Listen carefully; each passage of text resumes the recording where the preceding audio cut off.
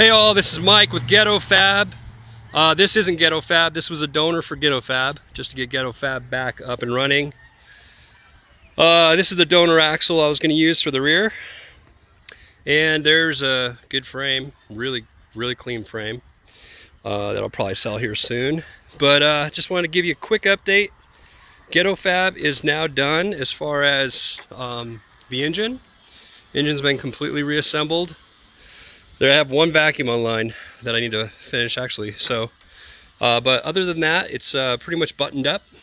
Um, but uh, before going on to the next step of fixing the Ghetto Fab shackles, which are awesome as we all know, uh, I wanted to just ask a question. And that is, uh, after an engine sits for three or four years in a garage, and then uh, gets installed in a vehicle. Question is, is should it blow blue smoke at first? Um, is that a sign of the rings losing uh, uh, their seal, or is it just normal? I, I don't know. I want to show you what it does, though. Well, here, let me give it some gas. So here it is running. Sounds good. Looks good. Smells awesome. But let me show you what happens when I give it a little bit of gas here.